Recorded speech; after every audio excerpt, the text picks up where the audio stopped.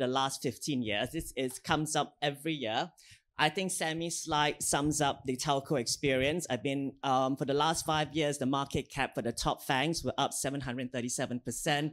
The market cap for the top five telcos globally has been down 34 cents. So that is summarizes the session today. How can telcos monetize non-connectivity services better. I think if you speak to telcos globally for the last decade, I think one of the big things they talk about, I think Sammy hit it on the nail as well, is that legacy systems, the cultural heritage, the legacy cultural heritage, it hangs on them. And as a result, there's huge amount of investment, huge amount of capex, huge amount of capex commitment that needs still today to maintain that legacy infrastructure. And that's one of the big reasons as to why telcos find it very hard to move into newer areas with smaller, with shrinking margins as well. And I think that cultural change, that cultural transformation, I think Sammy said DBS took eight years. I'm not quite sure if telcos have another eight years to transform themselves. That's a big question. I think that cultural transformation is probably the biggest hurdle as to how they can make telco salespeople more adaptive, more agile to meet that digital transformation and to sell digital solutions as well. So the big question I'm going to ask to start off this session is that how can telcos adjust to become more agile, more digitally savvy to adjust to this new world order? I think a good place to start will be Willis. That's you. M1, new parent company who has transformed themselves in some ways to be more like a renewable organization as well. So maybe you can start kick things off. What have you learned in the last decade, and how do you think telcos can transform themselves going forward as well? So let me just uh, start off by saying that I'm from Keppel. Uh, oh, Keppel, sorry. I yes, Keppel. M1, M1 yeah. yes. Uh, M1 is part of Keppel nowadays. So I think just to introduce, for those in Singapore, you know us very well. Keppel is a big organization. We have four business, connectivity, which I'm from, urbanization, uh, urban development, and also the energy piece, and also the asset management. So I think for me, actually, I came from a startup company, and, and I was acquired 10 years ago, and I've seen through the transformation of a telco from rich to middle income to poor. so you have seen uh, uh, Sammy giving that example. What has changed for us actually is uh, the what traditionally was bits and data for us in terms of revenue, secured revenue, and on, on a monthly and yearly basis has now changed into one that is of um, solution based. All right. So for the uh, for the for the B to B to B to C industry, today consumers are no longer demanding gigabytes, minutes, SMS. I mean, most of you here know it's almost worthless. very little ARPU for us. And um, for M1, I think what we are seeing for the B2C industry is that now today the telco has to transform into what you call a digital platform player, all right, creating hyper-personalized solutions, right, whether it's Netflix and partnering ecosystem partners to deliver these solutions to every single consumer, all right. On the B2B side, it's even more challenging.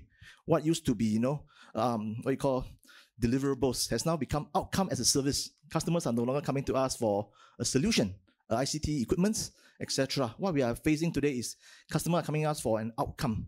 So in, in M1 today, I have actually changed the entire compensation scheme. You are no longer measured by how much sales you have, but outcomes by customers. All right.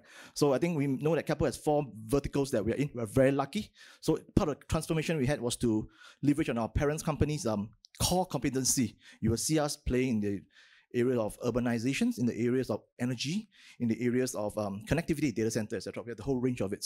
So what we need the telco need to transform is not just mindset change. That's easy to say, all right? But you really need to relook your entire business and see what do you want to be in the future, and that defining mission statement must be there for every single telco now to go forward. Because as, as Samir has shown you in the earlier slide, I really love your slides earlier. the time is running out for us. Exactly the words I use, you know. Uh, of course, I mean, they use the Nokia you know, burning platform. We are not that stage yet, but I can tell you time is running up for us and we need to find a new business model. So every telco have a different solution. Today, our competitors are no longer fellow telcos, but it could be new players in the market. And we hope to find new solution as part of the transformation. Maybe hope that answers your question. Okay, so the defining moment is is at now, basically. That's why, or you're looking for that defining moment. So it's the best time to go to Google, Neff. sorry if I pronounce name. I mean, if you look at, if you compare yourselves where you are, the kind of culture you have at Google, and maybe just look across next to you, um. I mean, how do you make that comparison? He said they have more or less transformed themselves. They have looked into new solutions. They're redefining themselves. I mean, what, based on your experience at Google, what advice can you give to your fellow telco, one, this one and a half there, um, of how, what can, they can learn from you, basically? Sure. Thanks, Adrian. And hello, everyone, fellow panelists. very quick intro. I lead the transformation practice for APAC at Google, and in the past I was with Singtel. So I've been with telco, and you know have been fortunate that for 15 years been working with telcos globally and trying to help them digitally transform, which I think you know is what we are discussing. It hasn't happened yet, so that's a good point. Uh, I think you know Sami made a very good kind of point when he during his presentation about culture that a lot of telcos have to think about you know how they are changing themselves in terms of you know the culture and the people that they bring in and how you're bringing products and services to market. And it's a very rigid framework in the telco industry, thanks to the regulatory overhead, TM forum standardization, and some amount of standardization is important to offer a very highly redundant service that telco is. But one has to think about you know telco in a different context. That's not the way the industry was kind of designed. Uh, if any other industry has to create new factories every three years, uh, it will be very different. You know, the, and that's where the telco industry is. The pace of technology evolution has been so fast in the past few years that from 3G to 3.5G to 4G and 5G, and we are already talking about 6G now. So every three years, you have to set up new factories for producing the products, and you know, often the same products. So it's a very different, you know, ball game. Therefore, you need to have differentiation in the front end, and that means you know you need to kind of you know innovate much faster. And just a comparison point there, um, Adrian, in terms of culture, how culture drives uh, you know revenues and growth. Uh, when we look at the top five companies, and I looked at their data for 20 to 21, revenues of top five technology companies, and these are three with names A, Amazon, Alphabet, which is Google, uh, and uh, you know the other two, which is Meta and Microsoft. 1.4 trillion dollars was revenues, mm-hmm. and I'm not talking about market cap revenues. When we look at the telco industry globally, the revenues are 1.5 trillion dollars, you know, slightly higher than that. Now, more interesting fact is the growth between the two. The growth is 27% for digital companies or technology companies versus 1.7% for telcos. Now, that talks about the culture of innovation that these companies bring in. And at a very higher base as well, just the top five companies are producing much faster. And you know, this is the same industry that the telco is part of, the same digital continuum. So when we think about you know the cloud connectivity and security, how can you innovate faster and you know create that service level differentiation is very important. And particularly at Google, I think it's at the heart of what Google does. It does, you know, create similar standardized products that we see, which is used by billions of users. There are nine products which has more than billion users that Google has. And all of them have a different experience for you when you go in. So when you log in, you see a YouTube, which has a very different experience for you, which is designed for you and based on what you see, the way you like it. And I think that comes from kind of diversity, equity and inclusion that Google looks at, and most importantly, the people and culture that it brings in terms of you know allowing to failing fast, you know looking at areas which are growing faster and you know creating a data-driven culture most importantly. Mm. And I think I'll I'll pause there yeah. uh, and let others kind of you know chime in. Yeah, can I can ahead, I comment Sami, on yeah. that? So. Th th thanks. Uh, I mean, I think it's interesting. I, I think the interesting question we should ask ourselves is that what would Facebook do if they had the telco capabilities? If they had spectrum, they had the regulatory information, or oh, sorry, the relationship, and they would have the data. What would they do? How how how would that world look like? I bet it looks different than the the uh, Docomo or or Singtel or, or M1. Oh, that's a good question. So I don't have a perfect answer to that. Maybe I could pass it on to Rajesh. In terms of service creation, I mean, back to his earlier point about um, moving fast, failing fast, I've always remembered this quote that someone mentioned to me speed is better than perfection. Because the industry moves on so quickly, it's better to launch a service before you get everything perfected as well. And also, there are so many um, alternative providers in the market or new age provider, digital providers like a Google, and what happens if they are uh, armed with the same capabilities as a telco? I know the two of you uh, work in the periphery. You and help telcos enable new services and help fix their backend as well. Some thoughts on that in terms of service creation and what could you do and help telcos along with it? Uh, thank you, Adrian. And yep. uh, just as a quick intro, uh, I'm from Aria Systems. I look after the business for APAC here locally. It is. It is. Okay. Uh, um, and uh, what Aria Systems does is try to, um, I, I, I don't want to call it the pain, but essentially reduce the pain on that cost to serve curve, right? I mean, because of 5G or 4G, the whole um, cost to serve is constantly going up versus the ARPU. And where we come in is trying to minimize that cost to serve by uh, being a, a, technology service provider that sits in the cloud. Um, unlike the traditional systems where you have to install um, platforms, I mean, very similar to the likes of Google and Facebook. So you don't have to worry about, um, you know, your technology stack, how, how quickly do you scale and so on. So um, when you want to launch a service, um, we want to launch it within days, or you know, it would soon be hours, rather than having to launch it um, in you know in months yes. and 18 months like you previously mentioned right? It's it need, it need, not be 18 months. You you know by 18 months that that opportunity would be gone. So we want to be um, that provider that supports and enables that um, transition. Um, and and and we come from the monetization end of it which is a very important aspect uh, boring but important i would say because that's uh, you know as long as your billing is working nobody cares right? The money keeps coming in. And we want to keep it boring we want to automate it and we want we don't want any hands on it so that's where that's that's sort of RES principles um, towards this okay cool yeah. um filippo i got your name right thoughts on that as well Thanks, Adrian. Um, yeah, so first of all, uh, also a quick intro uh, from my side.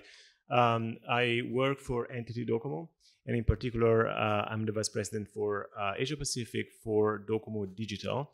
That is the payments division of NTT Docomo. So our job is to go to market globally with pretty much all telcos um, for payments projects. Uh, that means um, uh, content bundles, carrier billing, uh, but because of the particular um, area that uh, that we cover, we also work a lot with OTT companies, uh, SVODs, and um, you know gaming providers. So a lot of content providers. Um, so we have a bit of a privileged vantage point in the content industry to understand where the market is going, also in terms of monetization of uh, new opportunities. So in terms of agility, and Sami, thanks for for um, providing the background so clearly in your previous pre- presentation. It saves us a lot of work, I think, in you know in make in, in, clarifying that.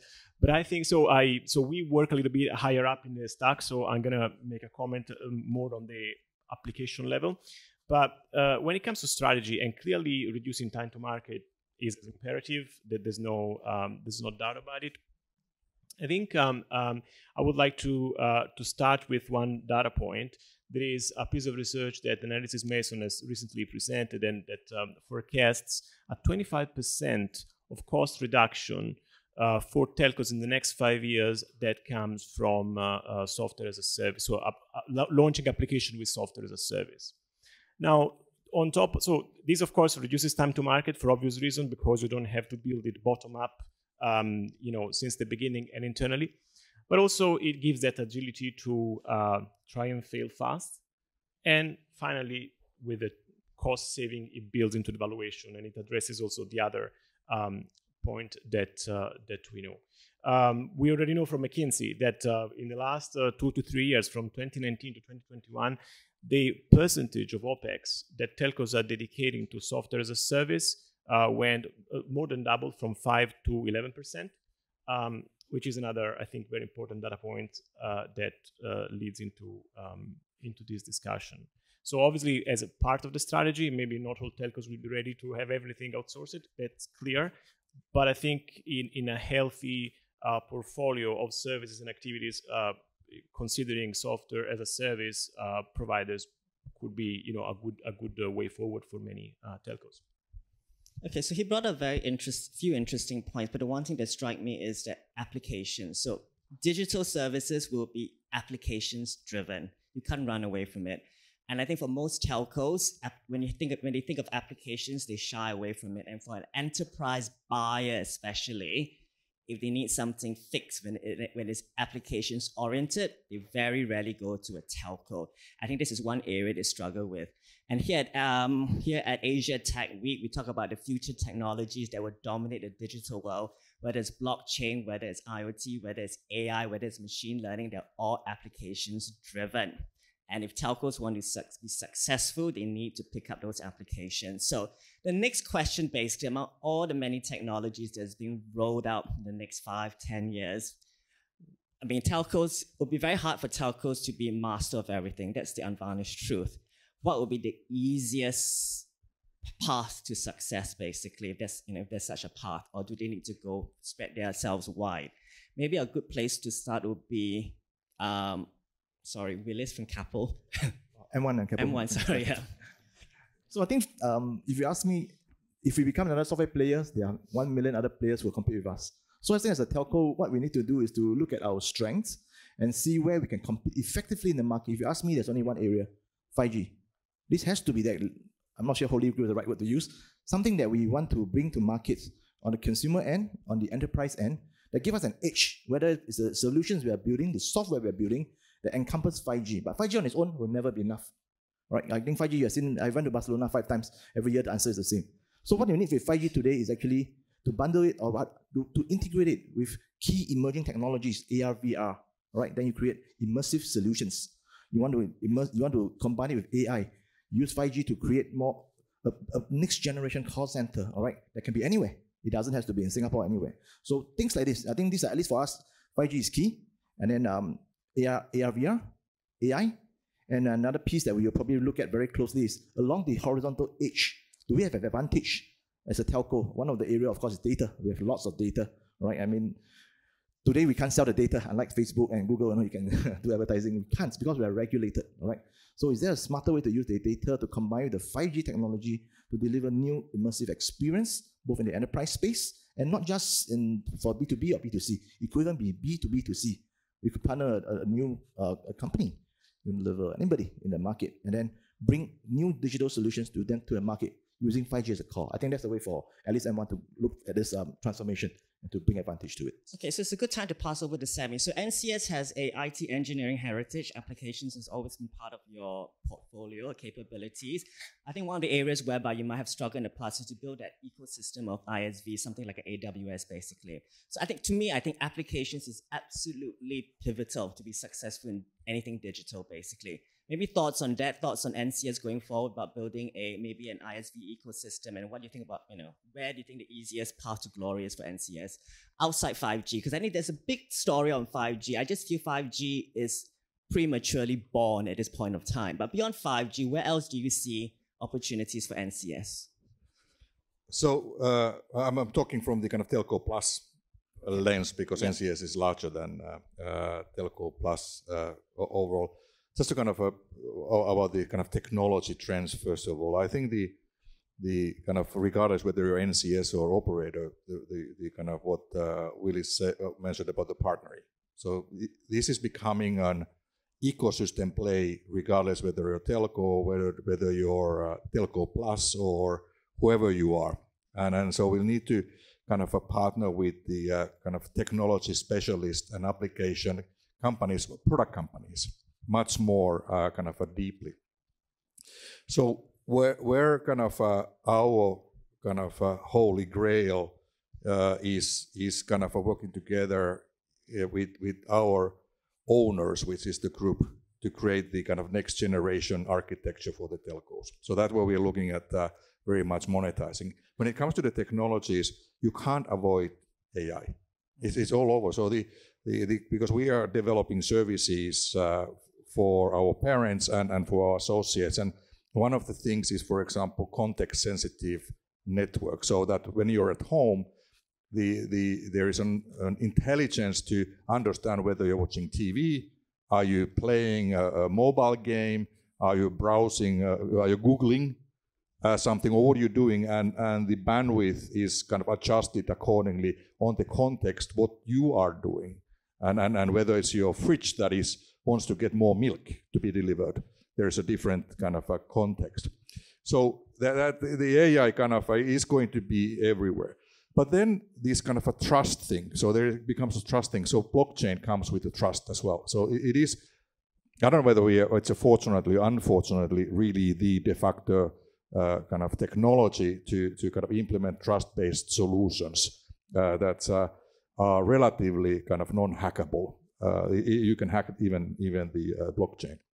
But that's that's how we are looking at. So we are looking at these We're very much uh, about the partnering, partnering with the network equipment providers, so Ericsson's, Huawei's of the world. We are also looking at the, the kind of startups in blockchain with, with these kind of uh, these trust solutions. Uh, we ourselves are working with the AI because it's it's it's the kind of a next next kind of a big thing. Everything needs to be uh, AI, and then working with our, our parents as as well. So because then because whatever we do with our parents, we get to co-own the IP. So that's the the beauty of being owned by uh, an, an, an industry. Okay, good. Um, Rajesh, so I believe you work with telcos more on from a consumer perspective largely. So what are your thoughts of in terms of generating the next generation of killer consumer applications? I mean, we've been through content. Telcos have never been successful even in as a content aggregator, yet alone a creator. So what else? What's next for them, basically? Um, if a, anything. Yeah, it's a, it's an, it's an, it's a very interesting question. I was keenly um, listening to the previous speakers over here, and I think Kevin and um, uh, I think Dr. Tan uh, also nailed it on. It's it's a big puzzle, and I don't I don't think it's been solved. Right? What is the next killer app? You also said that streaming was a killer app when 4G came around. Um, I think it's a big puzzle for the telcos to solve. Uh, they're trying everything. I mean, if I look around me, um, I'm, I'm, in Australia. It's it's quite interesting. There's Optus SubHub. They're trying to uh, aggregate. uh, they're trying to aggregate and uh, take a small small clip of the uh, of Netflix's margin. Um, uh, Telstra is launching Telstra Energy. Um, it, these are all interesting avenues we see around us. But I guess um, again, I'm being controversial here, but my personal viewpoint is um, everyone writes on this data pipe that is owned by the telcos. And the moment someone realizes that you know someone needs to pay a premium to actually access a good quality of service is when the things are going to change and uh, maybe someone will solve that puzzle soon i, I guess that's a good point I mean, because some um, in some countries um, the telcos are trying to make the new age players pay for the um, networks as well in korea started it and I think in Europe, where regulation is rampant, I think they're trying to make the telcos pay for, um, try to get the new age players pay for the for the usage of the networks as well. So Filippo, thoughts on that as well? I mean, listening to Rajesh was saying there's really no next killer app from a consumer perspective. Do you agree with that as well? I do. Yes. Okay. So um, done deal. so, um, so if we have to look at um, what successful telcos or relatively successful telcos are doing globally, um, and let's define success. So we, we can define a measure of success in creating what we call beyond core revenues, right? So those telcos that who are those telcos that have been able to diversify their revenue mix a little bit more in the last few years and what they have done to achieve that. So there are a few examples. And um, I think to make a parallel with what successful scale ups or large scale ups or you know unicorns have done, so there are certain archetypes that have been common between the, the two if we want to make the parallel aptly between the you know telco and tech sector. So one um, uh, so one uh, clear uh, archetype is the ecosystem uh, creation. You've also referred to that some earlier. So telcos they have, they have created uh, strong ecosystems uh, by posing themselves at the center of these ecosystems as a technology enabler um, and either built companies, bought companies, or partnered with companies um, in the service providing uh, space. So, in that way, uh, a lot of value was brought. I'm going to make examples. Uh, a lot of value was brought in um, uh, because both parties have been able to leverage on their core strengths. So, in doing what they know best. Um, so, service providers in, in that case, uh, you know, have that very uh, focused customer experience and engagement that is typical of digital services, whereas telcos um, take the role of um, leading uh, tech enablers. So this is, for example, the case of Turkcell in Turkey. They've created a very strong ecosystem, especially with consumer financial services. They have a subsidiary called PayCell that is generating a few hundred millions uh, US dollar equivalent in revenues from financial services, but of course it, it's strongly baked on on on the on the Turkcell um, network and and and, and business. Um, other examples maybe um, uh, come from the region. I mean, uh, NTT Docomo, our mother company. So we created D Plus long before Plus was a cool uh, addition to every brand, right? So Docomo Plus or D Plus was the no, and it was a completely another thing. yeah, actually, so D Plus was a strategy that perhaps 10 years ago we announced it to, uh, to enable ecosystem partnerships. So it wasn't about video streaming at all, actually, because 10 years ago there was no video streaming virtually. Um, but it was about uh, telco being in the center of the ecosystem and enabling um, a lot of uh, apps in, in healthcare, in, in the Docomo case, uh, in financial services, in loyalty programs, and, and so on and so forth. So um, there are uh, cases of success. I think in terms of the killer app, probably there isn't a single one, but I think we uh, are starting to see those strategies uh, that are emerging as successful. So I think that's a good point to start. So bottom line ecosystem is very important. I think he brought up a very good point about financial services. So in some parts of the world, especially in Africa, players like Safaricom, MTN, something like 20, 25% of their revenue comes from mobile wallet. They were like the trailblazers in mobile money and so on. And I think Orange is another organization. There's Orange Bank, and here in Singapore, Singtel and Grab are launching virtual banks here in Singapore as well as Malaysia. So that seems to be one area whereby there has been some kind of success globally as well. So the, back to you, Google. So Google, everyone wants to partner with Google, whether from a consumer or from an enterprise standpoint. Um, you're always much sought after. So what what advice would you give to these to telcos generally as to where should they focus on?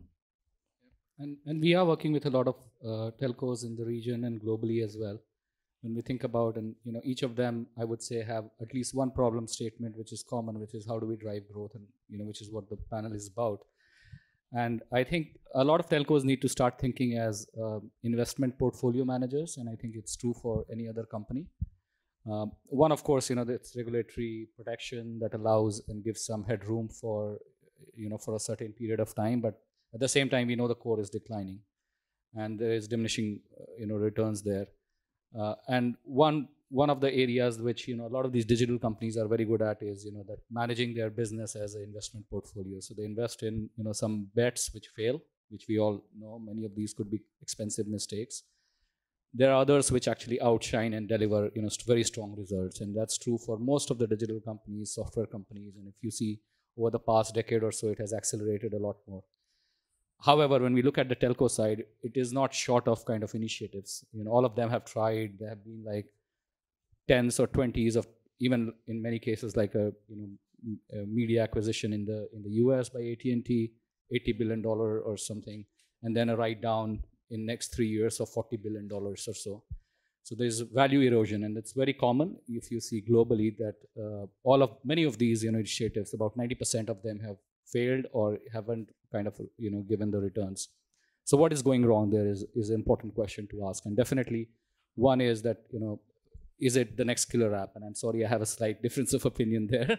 Uh, that uh, everybody may be looking for the next killer app or it's like a me too uh, you know syndrome going on there that oh everybody has to be a content aggregator or you know be the, you know the financial services.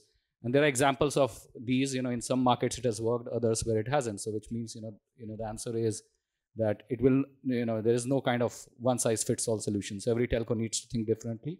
And definitely there's a lot of growth in the digital ecosystem. And the closer you are to the core and if we see, you know, particularly for telcos, uh, you know, Willis mentioned about augmented and virtual reality.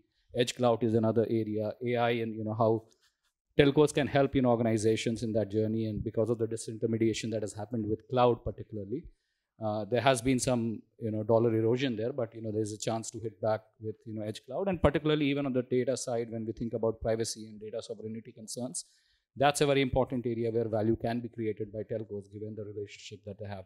But the most important factor I feel is getting the operating model right, which is, you know, when you think about a portfolio, how do you not create or just invest in another company, but imbibe that as a digital, you know, way of life and creating new products and services, and particularly service differentiation in the front end. Excellent. I'm going to throw this up to the floor. If you have any questions for the panelists, just raise your hand quickly before I move on.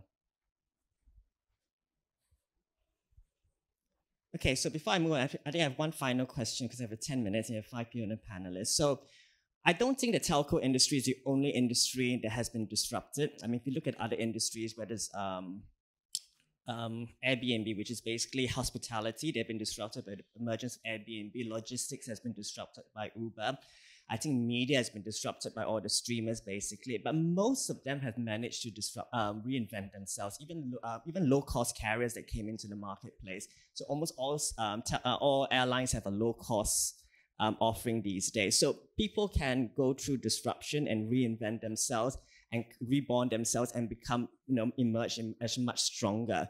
And even for the for the banking industry, they're fighting against the fintechs as well. They become more lightweight today, like a DBS Bank. It took them eight years, but today DBS is the largest uh, organization in SGX in terms of market capitalization. So if you look at all these examples from the other industries, so the question is for all the panelists, what can you, what can telcos, not you obviously, because not all of you are from the telco industry, what can telcos learn from that? That's number one. And how do you think telcos, what would a telco look like in five years' time? Would that will be the main thing. So I will pass it on to um, Willis. I think the first thing you need to be is to think like a startup, like any other digital company, and that keyword is agility, right? I think that's the to me that's the most important thing, agility, and um, what what I, what what telco can do now going forward is that beyond being agile, you got to have a startup mindset. Look at all these guys that are disrupting companies; they started with nothing, right? And um, the cost of capital is going up as interest rate rises. So I think in a way it, it, it will it will balance the skill a little bit for a telco when we go to market today, all right, and then the, the cost of capital is increasing, which is good. I think it's good for the health, healthy for the telcos. And we, but we cannot just rely on cost of capital, our large customer database, our traditional way of doing things to, to be able to compete and um, to digitize. So I think that, that entrepreneurship in the telco industry is critical now beyond agility. Two things, agility and, and entrepreneurial mindset for every single initiative you are building. Thanks. And how would everyone look in five years' time? I think in five years' time, you, I don't think today you don't see us as a connectivity provider anymore. I think Sammy has said Telco Plus. Uh, I guess I, am not sure what's one of this, but I think you will be looking at. I mentioned earlier two things. B2B, you're looking as a as a hyper personalization platform, right? Someone that delivers an outcome to you. In the B2B space, similarly, you you will see us uh, to be a hybrid between a consulting firm and a, and the and the, and the traditional telco. So I'm not sure what the end result will be. Nobody knows. So I think we are still transforming, and we are we need to see where the best paths lead, lead us. But our, in our mind, we are very clear if we have to change now, we have to be agile. We have to the entrepreneur mindset, just like Google when it first started out, just like Apple. All right. If you ask me what's the what is the um, uh, killer app, I think Steve Jobs is the killer app. Before before Steve Jobs came out, we were doing a lot of video ads anyway, but nothing took off until Steve Jobs came about. So I guess we got to learn from Steve Jobs a little bit because that entrepreneur mindset, that startup, the new iPad, the new things that you build has to be that. I, can't, can't be, I can't. I mean, we can't be Steve Jobs. Any of us here, or all of us can be Steve Jobs. But if every of us put in a little bit of effort to be that little Steve Jobs, then magic will happen for the telco industry. Thank you. Entrepreneurial, that's a key word. So, Filippo, entrepreneurial. What else do telcos need to learn from their peers in other industries, and what would they look like in five years? It's a very uh, it's a very difficult question to answer, but um, clearly keep insisting on the strategy of diversifying the revenues and uh, and uh, yeah, I, I, don't personally I don't think there's um, as uh, as Avinash, you were also mentioning, I don't think there's a recipe that anybody has found now. So it's more like keep experimenting, uh, being entrepreneurial, fail fast, um, you know, experiment fast, fail, fail fast. Hopefully, some sometimes succeed also, um, and you know, keep launching, uh, creating a portfolio of services that shifts um, towards value creation for end users, and therefore, you know, bringing um, the business to a higher margin um, part of the value chain. Okay, fair enough. Um, I'm going to change the question a little bit for Sammy. So Singtel has been on this transformational journey for quite some time. I followed Singtel when Bill Chang was came in and all, and that was like in 2010. I mean, to be honest, success for Singtel has been moderate. I mean, it's not the best example to give, but you have found success in certain areas beyond connectivity. So maybe for the question for you, what has Singtel done in the past that could have changed and become, and why do you see Singtel in five years' time, basically? So the first part of your question that what was done that oh. you could have done better and oh, would, absolutely. would do, would oh, okay. differently. Uh, how, how much time do we have? Six, well, no, two no, minutes each. no, no, just joking, joking. So, uh, uh, it, it's it's definitely uh, this kind of culture thing. So we I think they're they're kind of uh, adopting this digital company culture would make a big difference. Uh, so uh, five years ago, uh, Singtel was still a very traditional connectivity telco. That's like it was a, and and I was about to say engineering focused because uh, uh, Google is engineering focused, but it's a different engineering. It's a, it's a services and software engineering, which is a, it's a, it's a completely different world. So so this kind of um, lo- long-term vision of, of a kind of a digital company and creating the culture towards that thing because at that time telcos were quarter focused so there was no nothing beyond one year uh, coming up. Where, where, where, where is it going? Uh, we, we are kind of moving jointly together to become a digital company. So it, it's we decided that's what we're going to be because there's two options that you could become a utility company where you need to just focus on the network and you're damn good at it, or you become a digital company, and we chose the digital company. Okay, we'd like to see what happens in five years. So, Rajesh, last last words from you. Where do you see the telco in five years' time, and what can they learn from their peers in other industries? Um, I think, um, as my uh, you know, co-panelist mentioned, it's a very tough question. Um, but I guess there's an opportunity now um, to be agile, um, opportunity to make your systems lean, ride on that opportunity. So you never know who's the next, who finds that next Airbnb within the telco, right? And you know when that opportunity comes across, everybody rides that wave. That's that's that's my view on the topic. I mean, this is the opportunity to to maybe go lean, go agile, become like a proper tel proper digital company, so that you can launch products and services in days and try and fail fast, and and and move on quickly, and then someone would actually identify something that takes off that's that's my view. Okay, so what? So the question for Google: What can they learn from you? Basically, I mean, we have seen, as I mentioned earlier, we've seen many legacy organizations being disrupted. They're transformed, and then they're by, disrupted by folks like yourself as well. So, what are the best practices practices you can you think that they can learn from you, and where do you see telcos in five years' time? Sure, and you know, first, kind of uh, agree that it's a very difficult question. because we do not know where it goes. But I think you know, in terms of best practices, um, definitely you know, one is of course Google attracts and retains the best talent, and I think you know it's more important than ever in you know the industry and the overall digital world that we live in today, and it makes a lot of difference uh, when when we think about you know the impact that the people you know when you put you know great minds together in a room and then you know let them do what they want. And that's something that you know google is known for and does very well the second is, of course, the ecosystem play, and I think uh, you know Google does look at its ecosystem, and you know we work with a lot of companies, which is often not seen, but definitely when we think about the ads business, there's a lot of players. You know, when you think about the programmatic ads and the way it is delivered. Same is the story with you know cloud, where we work with a lot of you know new age companies and and, and service providers there. And finally, I think you know in in you know again in terms of you know telco and how we think about you know the telco industry evolving my personal belief is that I have been discussing with telcos for very long, and now it has kind of hit the rock bottom. And I see a lot of telcos very serious about you know adopting agile cultures, you know, very open to you know experimenting. So I'm very hopeful that uh, this time you know it will be a you know different approach, and many of them are you know undergoing the transformation that we would want to see very often earlier i think you know the conversations were like pr exercises where you talk about innovation you set up a fancy innovation lab and then you drive innovation. Now it's more about you know how do we change and transform you know culture you know and how do we transform the way we operate create more engineering focus within than just you know kind of looking at vendors or suppliers to you know offer technology. And i think that's where you know if you see you know particularly the google's focus is around innovation and how it creates that culture of innovation and you would see a lot of examples where google has shut down products where you know they are not doing well. And i think taking that call early on is a very important you know trade that google has uh, you know taken and built a culture around. At the same time you know looking at initial trends and a good example is deepmind. Deepmind you know ai company is now profitable it turned profitable last year after 10 years but it was cash flow you know it was generating cash flows you know it was about 600 billion pounds plus if, if i remember it correctly but you know and you you understand this is an industry which is growing so fast, so you want to remain invested and it turns profitable. And you have to pick up those early signs and invest in areas which are growing faster, and then you know kind of remove those areas or you know cut down investments early on in areas which are not growing so fast or the industry is not headed. So I think that's a very important differentiation, and Google does it very well. Besides you know the other areas that you know I spoke about.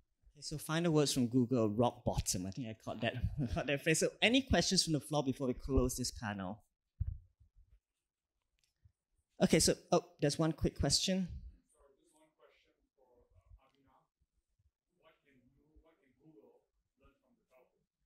Oh, good question. Uh, a lot. Uh, you know, Google today has one of the, you know, does operate a lot of network and you know fiber network subsea. So there's a lot we can learn from telcos.